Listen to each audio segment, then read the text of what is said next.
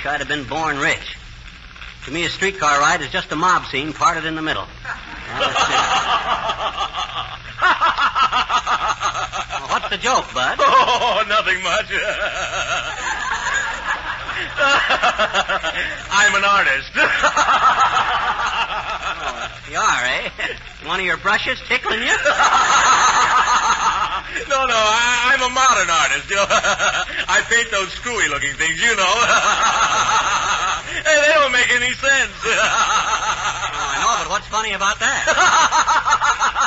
I just had an exhibition, and somebody bought one of them, the darn fool.